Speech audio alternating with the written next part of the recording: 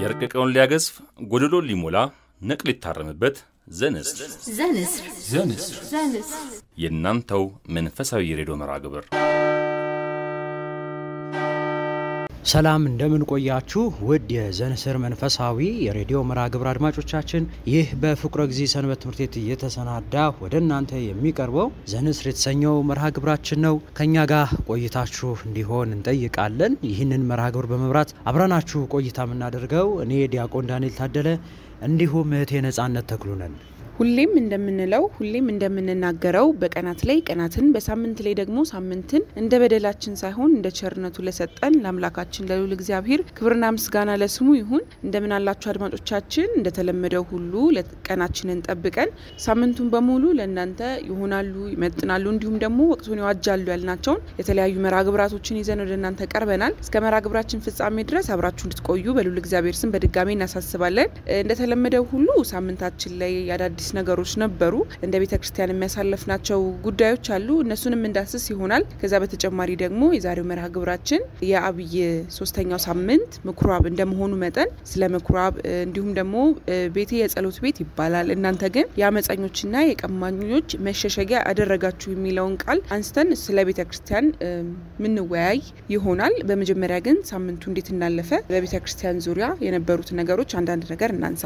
እንግዲህ ያው ሳምንቱ ብዙ ጉዳዮች ጉዳዮችን አበይት ጉዳዮች የተከሰተበት ነው። መልካምም ጥሩ የሚባሉ ነገር አለ። የአድዋ በዓል ተከበሮ አልፏል። ነገር ግን አንደኛው አበይት ጉዳያችን የሚሆነው እሱ ቢሆንም የተከበረበት ሁኔታ ግን ቤተክርስቲያንን የሚያስደስት እንዲሁም ደግሞ ለምእመናን በሚመጥ መልኩ ከመንግስት አካላት የተደረገ አልነበረም። ለዚህም ነው የአዲስ አበባ ሀገረ ስብከት መግለጫ ወጥቷል።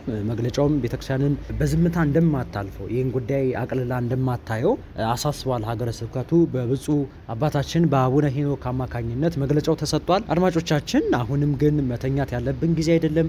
ቤተክርስቲያናችን በተለያዩ ጉዳዮች ላይ እየታወከች እና እየተረበሸች ያለችበት ጊዜ ስላለ ሁሉን ነገር ወደ ጎን ትተን ቅድሚያ ለቤተክርስቲያናችን በመስጠት ሁላችንም ዘብ ልንቆም እንደሚገባ ይህ ደግሞ የቤተክርስቲያን የመከራ ጊዜዋ እንደሆነ በማሰብ ባለንበት ሁሉ በምንችለው ሁሉ ልንዘጋጅ እንደሚገባ ለማሳሰብ እንወዳለንና እንግዲህ የመጀመሪያው ሳምንት ያው የአድዋ በዓል ነው። ጥሩ ተከብሯል። ግን አሳዛኝ ክስተቶች ተደርጓል። ያው ገነተ ጽጌ ሰንበት ትምህርት ቤት አባላት ላይም ትንሽ መጠነኛ የሚባል ነገር ተከስቶ ነበር። አሁን ግን ሁሉም ደህና መሆናቸውን ምንጮቻችን ነግረውናል። ነገር ግን ከምዕመናን መካከልም ያው አንድ ሰው በሕይወቱ እንዳለፈ ይህም ደግሞ ቤተክርስቲያንን በጣም ያሳዘነ መሆኑን የተለያዩ ማህበራዊ ድረገጾች ገልጸዋል። እንግዲህ ከሳምንቱ የመጀመሪያው አሳዛኝ የሚባል ክስተት የነበረው በዓልም ቢሆን ይህ ነበረ። ያው እንግዲህ ያው ሳምንታችንን ጥሩ ያላረገው የአድዋ ጉዳይ ነው። እንግዲህ ያው እንደ እግዚአብሔር ፍቃድ እንደምናስበው ነገሮች መልካም ሆነው ያልፋሉ ወይም ነገሮች ይስተካከላሉ ብለን እናስባለን። አሁንም ቢሆን ግን በአጽንኦት መናገር የምንፈልገው ነገር ቢኖር በባለፈው ጊዜ የነነዌ ጾም ጊዜ በነበረው አዋጅ መሰረት ሁሉም ምእመን በአንድነት ወደ ቤተ ክርስቲያን የተመለሰበት በአንድነት ወደ ሃይማኖቱ፣ ወደ ጸሎት፣ ወደ ጾም የተመለሰበትና መንፈሳዊ ነገሮችን ሲተገበር ለሃይማኖቱ ዘብ ሆኖ የቆመበት ሰዓት ነበረ።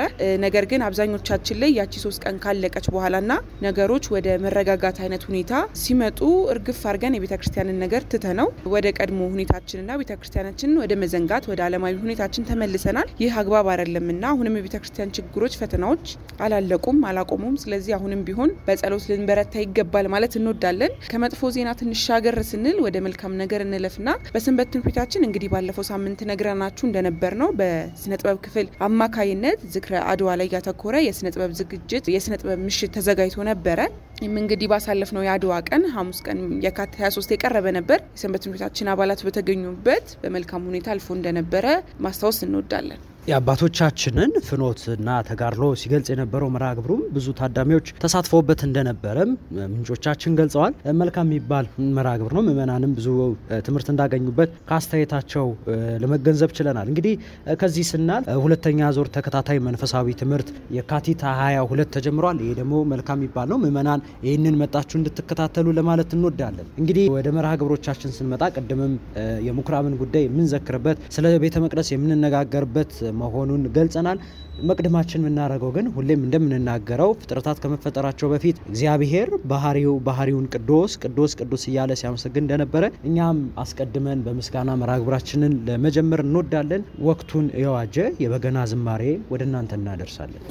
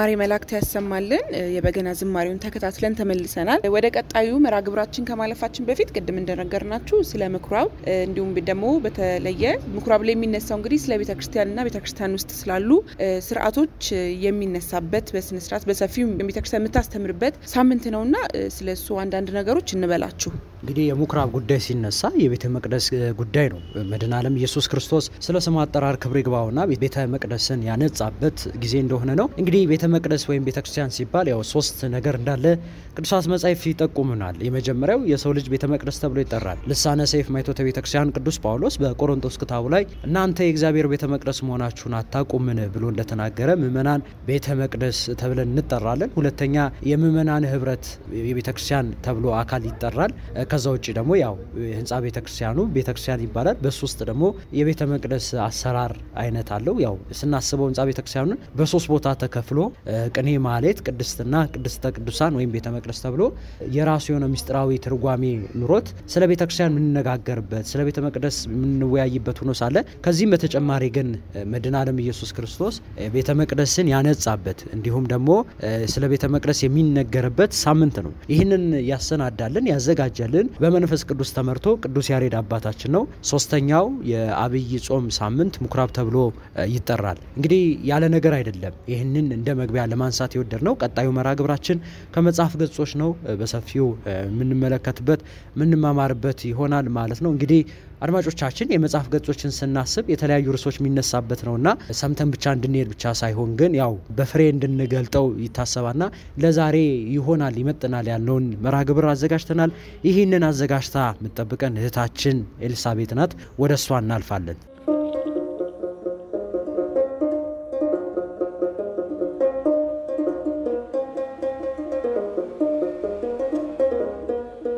ሰላም እግዚአብሔር ከእናንተ ጋር ይሁን። ውድ አድማጮቻችን ይህ ዘወትር በዚህ ሰዓት እየተዘጋጀ የሚቀርብላችሁ ዘንስሪ ሬዲዮ መርሃ ግብራችን ነው። በዛሬው ከመጽሐፍት ገጾች በዲያቆን ያረጋል አበጋዝ የተዘጋጀው መድሎተ ጽድቅ ቅጽ ሶስት የእውነት ሚዛን ከተሰኘው መጽሐፍ ጥቂት የምንላችሁ ይሆናል። እስከ መርሃ ግብሩ ፍጻሜ አብራችሁን ቆዩ።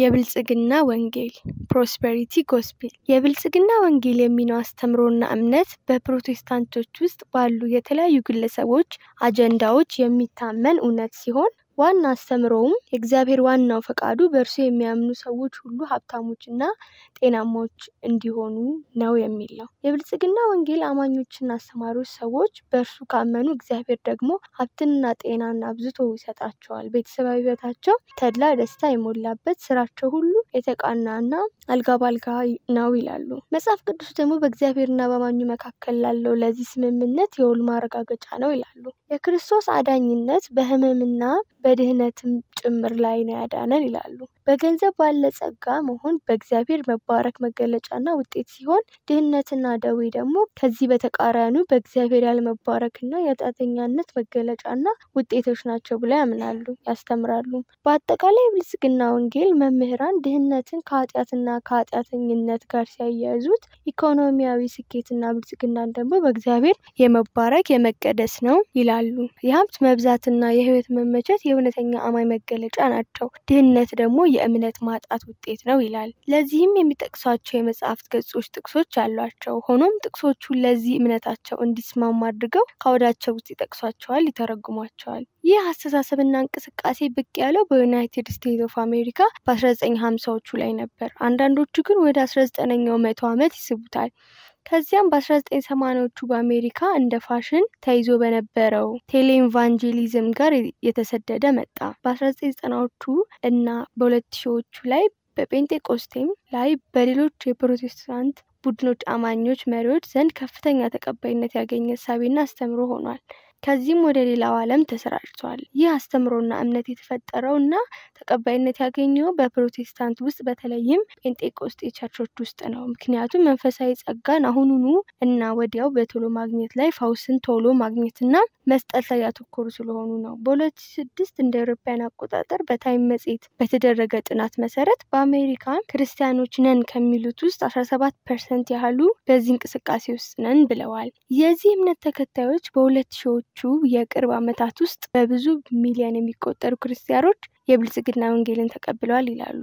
በእነዚህ የቅርብ ዓመታት ውስጥ ይህን እምነት የሚያስተምሩ ቸርቾች በፍጥነት የተስፋፉ የመጡት በሶስተኛው ዓለም ሀገራት ነው። በዚህ ላይ ጥናት ያደረገው ፊሊፕ ጀንኪንስ የተባለ ሰው በድሃ ሀገሮች የሚገኝ ድሃ ዜጎች ከድህነታቸው የሚያወጣቸው ስለሚመስላቸውና አስተምሮ በተአምራት ላይ ከፍ ያለ አጽንኦት ስለሚሰጥ ይህን አስተምሮት ሳቢና ማራኪ ሆኖ ያገኙታል ይላል። ይህ እምነት በከፍተኛ ፍጥነት እያደገ ካሉባቸው አካባቢዎች አንዱ ምዕራብ አፍሪካ ሲሆን በተለይም ናይጄሪያ ይህ እምነትና መንፈስ በከፍተኛ ደረጃ የተስፋፋባት አገር ናት።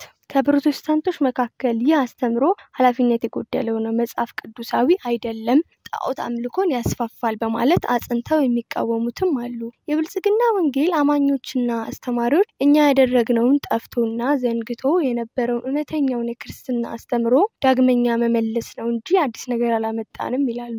እንዲሁም secular በሆነው ህብረተሰብ ላይ ክርስትና የበላይነት እንዲኖረው ለሚደረገው እንቅስቃሴ አንደኛው መንገድ ነው ይላሉ። በብሉይ ኪዳን ለእስራኤል ተስፋ ተደርጎ የተሰጠው ምድራዊ በረከትና ድል አድራጊነት ዛሬ ላሉ ለአዲስ ኪዳን ክርስቲያኖችም ይሰራል ሲሉ ለመሞገት ይሞክራሉ።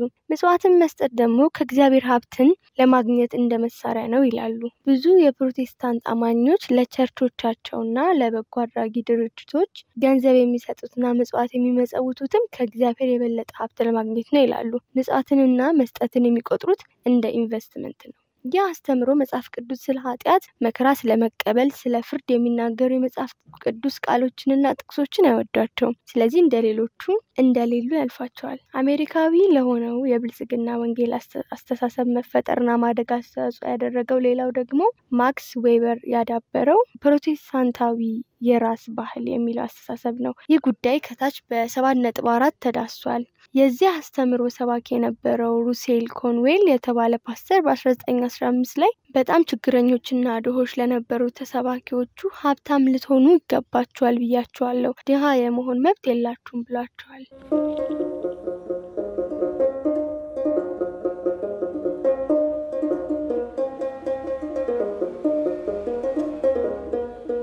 በዛሬው መርሃ ግብር ቁም ነገር እንዳገኛችሁ እርግጠኞች ነን። መጽሐፉን እንድታነቡት ጋበዝን። ሳምንት በሌላ መጽሐፍ እስከምንገናኝ እስከ ሳምንት ቸርን ሰንብት።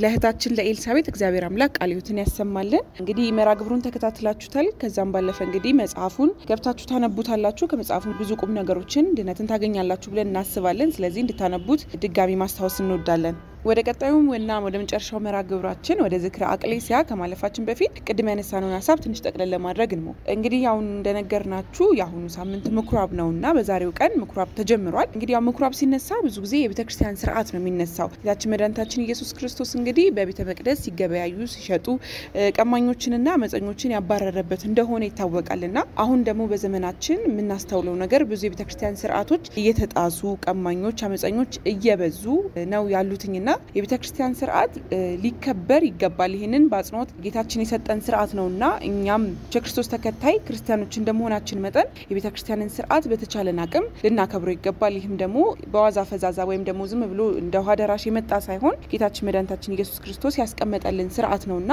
ያው ብዙ ችግሮችን የሚያመጣው አሁን ላይ ያለው የቤተ ክርስቲያንን ስርዓት መጣስ ነው። ስለዚህ ሁላችንም የቤተ ክርስቲያንን ስርዓት ልናከብር ይገባል ማለት እንወዳለን። ወደ ዝክረ አቅሌሲያው መርሃ ግብራችን እንሂድ። ዝክረ አቅሌሲያን ያዘጋጀችልን እህታችን ውባለም ፍስሐ ናት። የዛሬው ዝክረ አቅሌሲያችን ርዕስ የሚሆነው ስለ ቅድስት ክርስቶስ ሰምራ ነው የምታነሳልን። እንግዲህ እናታችን ቅድስት ክርስቶስ ሰምራ ኢትዮጵያ ውስጥ ካሉ ከኢትዮጵያ ውስጥ ከተነሱ ታላላቅ ቅዱሳት አንስት መካከል አንዷና ዋነኛዋ እንደሆነች ይታወቃል። ስለ እሱ አንዳንድ ነገር ትለናለች። ወደ መርሃ ግብሩ እንሂድ።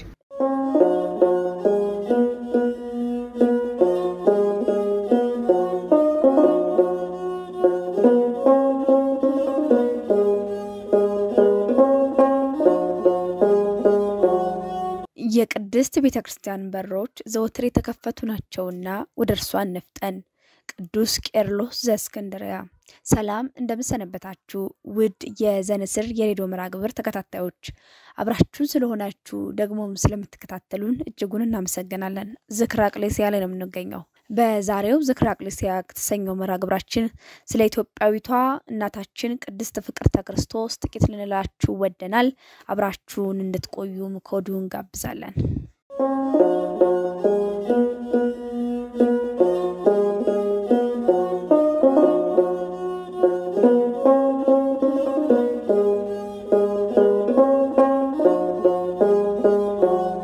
እመምዑዝ ቅድስት ፍቅርተ ክርስቶስ ሐዋርያዊት ጻድቅ እናትና ጻድቅ ሰማዕት ናት። ይህ እንደምንድን ነው ቢሉ ወር በገባ በ29 በቤተ ክርስቲያናችን ታስበው ከሚውሉት እግዚአብሔር አምላክ ቃል ኪዳን ከገባላቸው ከተሰጣቸው እናቶች ኢትዮጵያዊቷ ሰማዕትና ጻድቅ ቅድስት ፍቅርተ ክርስቶስ እመምዑዝ ትገኛለች። ፍቅርተ ክርስቶስ እመምዑዝ ማናት? ምን ቃል ኪዳን ስተሰጣት? ያደረገችውስ ተጋድሎ በጥቂቱ እንመልከት። ጻድቅን በጻድቅ ስም የሚቀበል የጻድቁን ዋጋ ይወስዳል። የማቴዎስ ወንጌል ምዕራፍ 10 ቁጥር 40። በሰሜን ወሎ ሀገረ ስብከት በመቂት ወረዳ ጥባ ማርያም ቀበሌ ውስጥ ምንታምር በምትባል ቦታ ላይ በ16ኛው መቶ ክፍለ ዘመን በኢትዮጵያዊቷ ሰማዕትና ጻድቅ ቅድስት ፍቅርተ ክርስቶስ የተመሰረተችው እመምዑዝ ኪዳነ ምሕረት ቅድስት ፍቅርተ ክርስቶስ አንድነት ገዳም ትገኛለች። ይህች ገዳም ከአዲስ አበባ በደሴ ወደ ጎንደር በሚወስደው መንገድ 665 ኪሎ ሜትር ከተጓዙ በኋላ ገራርግር ፈላቂት ከምትባለው ከተማ በመውረድ በእግር ሁለት ሰዓት ተኩል እንደተጓዙ ከ370 ዓመት በላይ ያስቆጠረችውን እመምዑዝ ኪዳነ ምሕረት ቅድስት ፍቅርተ ክርስቶስ በአንድ ቀን የሰራቻትና ለጌታ ለአራቱም አቅጣጫ የሰገደችውን ታላቅ ድንቅ ቤተ መቅደስ ያገኛሉ። የዚህ ታላቅ ገዳም መስራች ኢትዮጵያዊት ሰማዕትና ጻድቅ ቅድስት ፍቅርተ ክርስቶስ በደቡብ ጎንደር ደራፎ ገራ አንባሳሜ ወረዳ ልዩ ስሙ አቡነ ሀራ ገዳም አዋሳኝ ከተታ ማርያም ተብሎ በሚጠራ ቦታ ሚያዝያ አራት ቀን ተጸንሳ ታኅሳስ 29 ቀን በጌታ ልደት ቀን ተወለደች። አባቷ ላባ እናቷ ደግሞ ወንጌላዊት የተባሉ እግዚአብሔርን የሚወዱ ትእዛዙን የሚያከብሩ ደጋግ ሰዎች ነበሩ። መሃን ሆነው ልጅ ባለመውለዳቸው እያዘኑ ተግተው ወደ እግዚአብሔር በመጸለያቸው ቅድስት ፍቅርተ ክርስቶስን የመሰለች ልጅ በጸሎቷ ለሀገር ለወገን የምትበቃ ልጅ ተሰጠቻቸው። ከዚህ ሰማንያ ሲሆናት ለልጅነት ጥምቀት ወደ ቤተ መቅደስ በወሰዷት ጊዜ ከጥምቀት በኋላ ስጋ አምላክ ስትቀበል ወይንም ስትቆርብ ሕይወት የሆነውን ቅዱስ ስጋህን ክቡር ደምን የሰጠኸኝ አምላኬ ክብር ምስጋና ይገባሃል ብላ አመሰገነች። ስመ ክርስትናዋ ማርያም ጸዳለ ሲሆን የዓለም ስሟ ሙዚት ነው። ፍቅርተ ክርስቶስ የምንኩስና የቆብ ስሟ ነው። እናታችን ቅድስት ፍቅርተ ክርስቶስ አባ ዳንኤል ከሚባል አባት መጽሐፍን እየተማረች ካደገች በኋላ ለአቅመ ሔዋን ስትደርስ እናትና አባቷ ሊድሯት በመፈለጋቸው ዘራ ክርስቶስ ለሚባል ከደጋግ ሰዎች ወገን ለሆነ ሰው አጋባት። ማታ እንደ ሙሽሮች ደንብ ወደ ጫጉላ ቤት ሲገቡ ቅድስት ፍቅርተ ክርስቶስ ዘራ ክርስቶስን ወንድሜ ሆይ እኔ የእናቴ አባቴን ፍቃድ ለመፈጸም ነው እንጂ ስጋዊ ሙሽራ መሆን አልፈልግም፣ ፍላጎቴ የእግዚአብሔርን ሙሽራ መሆን ነው በማለት ብትማርከው ቅዱስ ዘርዓ ክርስቶስም ጸጋ እግዚአብሔር የበዛለት ሰው ነበረና እኔም እናትና አባቴን ላክብር ፍቃዳቸውን ለመፈጸም ነው እንጂ የስጋ ፍቃድ የለኝም በማለት ተነጋገሩ። በኋላም በአንድ ቤት ውስጥ ለቤተሰቦቻቸው ለአገሬውም እንደ ባልና ሚስት ግን በንጽህና ለአርባ ዓመት ሁለቱም በድንግልና ኑረዋል። ከዚያ በኋላ በእግዚአብሔር ፍቃድ ቅዱስ ሚካኤል መጥቶ ወንድ ልጅ እንደሚወልዱ ቢነግራቸውም ሁለቱም ይህስ አይሆንም ብለው ለአርባ ቀን በጾም በጸሎት በትጋት ጸልየዋል። መልአኩ ተገልጦ ይህ የእግዚአብሔር ፍቃድ ነው፣ ሁለታችሁም ድንግልናችሁ አይፈርስም ብሎ ነግሯቸዋል። ከዚያም ወንድ ልጅ ወልደው ሕፃኑ በተወለደ በሰባት ዓመቱ በቅዱስ ሚካኤል እቅፍ ገነትን ለሰባት ቀናት ካስጎበኘው በኋላ ወደ ምድር ሲመልሰው በእናት በአባቴ አምላክ ይዤሃለሁ ወደዚች ክፉ ዓለም አትመልሰኝ ብሎ ቢለምነው ቅዱስ ሚካኤልም ከአምላክ ጠይቆ በብሔረ ሕያዋን የሕፃናት አለቃ ተብሎ እንዲቀመጥ አድርጎታል። ስሙም ዳግማዊ ቂርቆስ ተብሏል። ቅድስት ፍቅርተ ክርስቶስ ቅዱስ ዘርዓ ክርስቶስም ልጅ ከወለዱ በኋላ እንደ ቀድሞ በቅድስና በንጽህና ጸንተው ኑረዋል። በዘመናቸው በኢትዮጵያ ነግሶ የነበረውን አጼ ሱስንዮስ ሃይማኖቱን ለውጦ ሁለት ባህሪ የሚሉ ካቶሊኮችን በመቀበል ክርስቲያኖችን እየገደለ ነው የሚል ወሬ ሰምተው ወደ ንጉሱ በመሄድ ሳይፈሩ ስለ ተዋህዶ ሃይማኖታቸው በንጉሱ ፊት መስክረዋል። ንጉሱም በጣም የበዛ መከራን አድርሶባቸው መከራ በበዛ ቁጥር እነርሱም እየጸኑ ተከታዮቻቸውም የንጉሱን ሰራዊቶቻቸውም ሳይቀሩ አሳመኑ። ስልሳ ሺህ ክርስቲያኖችም ሰማዕትነትን ተቀብለዋል። ንጉሱም በጣም የበዛ መከራ ደረሰባቸው። መከራ በበዛ ቁጥር እነርሱም እየጸኑ ተከታዮቻቸውም የንጉሱ ሰራዊቶችንም እያሳመኑ ቢያስቸግረው በሰማዕትነት አንገታቸውን አስቆረጣቸው። አንገታቸው ሲቆረጥ ከሁለቱም ደም ውሃ ወተት ፈሷል። በዚያን ዘመን ከነ ፍቅርተ ክርስቶስ ጋር ሰማዕትነትን ከተቀበሉ ውስጥ የማህበረ ስላሴው ጻድቁ አምደ ስላሴ፣ የጉርጉር ማርያም አባ መራዊ፣ የመሲህ ኪዳነ ምሕረት እመወተት ከስልሳ ሺህ በላይ ክርስቲያኖችም ሰማዕትነትን ተቀብለዋል። ቅድስት ፍቅርተ ክርስቶስ አንገቷ ከተቆረጠና ሰማዕትነትን ከተቀበለች በኋላ ወደ ምድር መልሶ አንገቷን ከቀሪው የሰውነቷ ክፍል ጋር አዋህዶ ከእንቅልፍ እንደሚነቃ ሰው ቀስቅሶ አንስቷታል። ከዚያም ከአቡነ ማርቆስ ስርዓተ ምንኩስናን በመቀበል ዋልድባ ገዳም ለአራት ዓመታት አገልግላለች። ከዚህም ከአምስት መቶ የሚበልጡ ተከታዮቿን መነኮሳትን አስከትላ በሰሜን ወሎ ቆቦ ወረዳ ወደምትገኘው በጻድቁ አባ ጉባ ተመስርታ ጠፍታ ወደነበረችው ራማ ኪዳነ ምሕረት አንድነት ገዳም በመሄድ ገዳሟን አቅንታ የወንድ የሴት ብላ ስርዓትን ሰርታ ገዳሟን አስተካክላ አምስት መቶ የሚሆኑ አገልጋዮች መነኮሳትን አኑራ ወደ ኢየሩሳሌም ጉዞ ጀምራለች። በመንገዷ ላይ ሰውን የሚበሉ ወደሚኖሩበት አካባቢ በመድረስ እነርሱም እርሷን ስልሳ የሚሆኑ አገልጋዮችን አይኖቻቸው በጉጠት በማውጣት ለአራት ወራት በጨለማ ውስጥ ዘግታባቸዋለች። ከአራት ወር በኋላ በዓል አድርገው ለመብላት ከቤት ቢያወጧቸው መልካቸው እንደ ፀሐይ የሚያበራ ቢሆንባቸው አንቺ ሴት ምንድነዎቹ ብላ ጠይቀዋታል።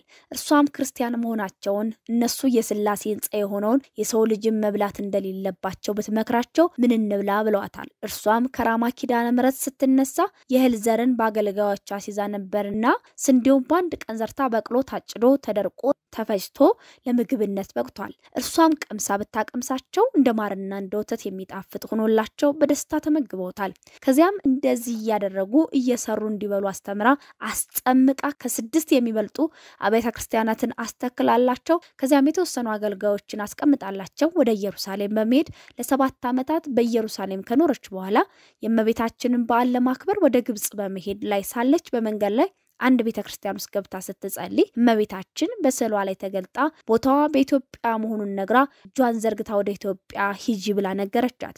በኋላም በብርሃን አምድ በቅዱስ ሚካኤል እየተመራች አሁን ወደምትታወቅበትና የእግዚአብሔር ድንቅ ስራ ወደ ተገለጸበት እመምዑዝ ኪዳነ ምሕረት ቅድስት ፍቅርተ ክርስቶስ አንድነት ገዳም ደርሳለች።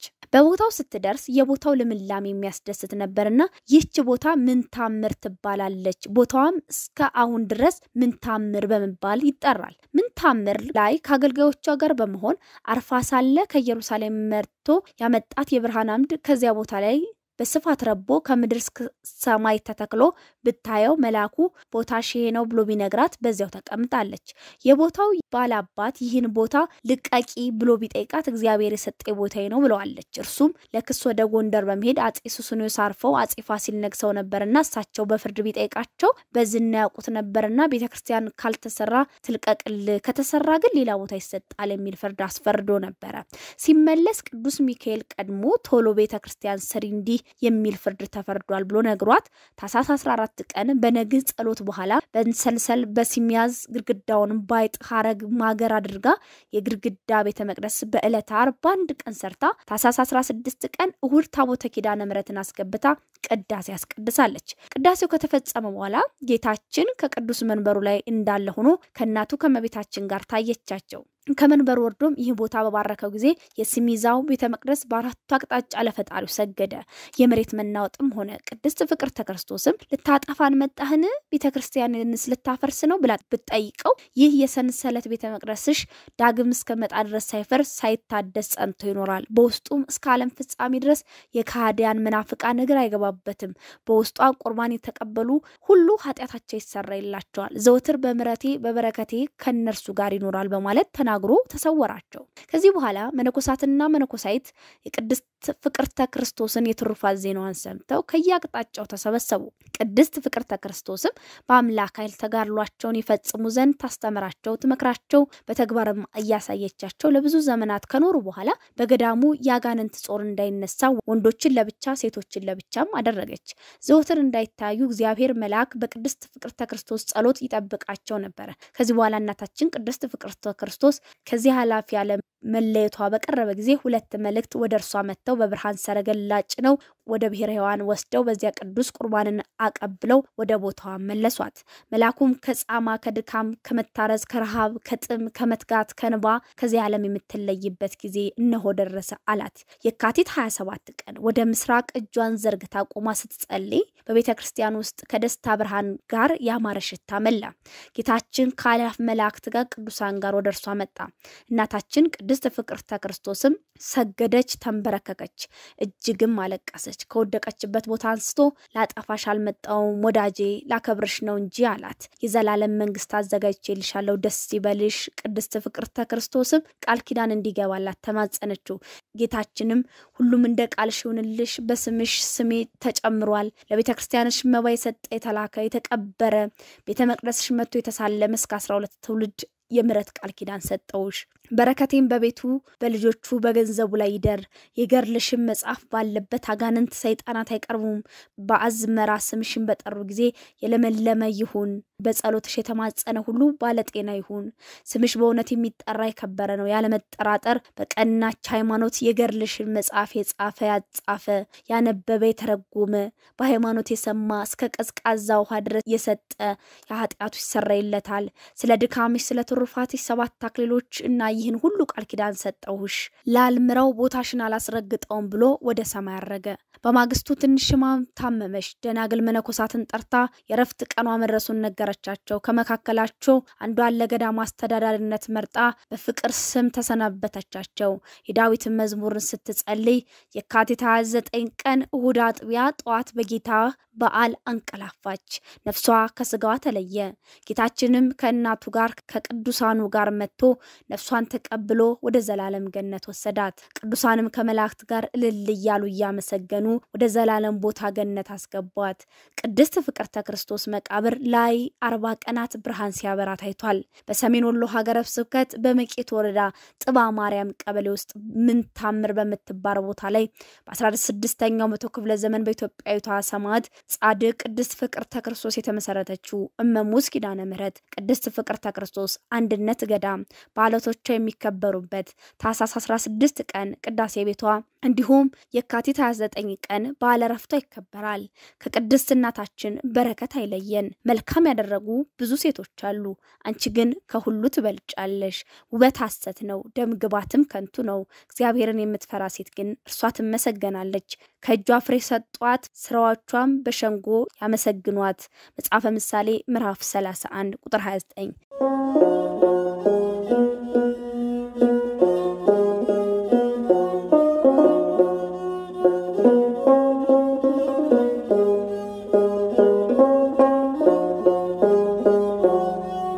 የዛሬው ዝክረ አቅሌስያችን ይህንን ይመስል ነበረ። አብራችሁን ስለነበራችሁ እጅጉን እናመሰግናለን። ይህ ስፍራ እንዴት ያስፈራል! ይህ ስፍራ የእግዚአብሔር ቤት ነው እንጂ ሌላ አይደለም። ይህች የሰማይ ደጅ ናት። ኦሪት ዘፍጥረት ምዕራፍ 28 ቁጥር 14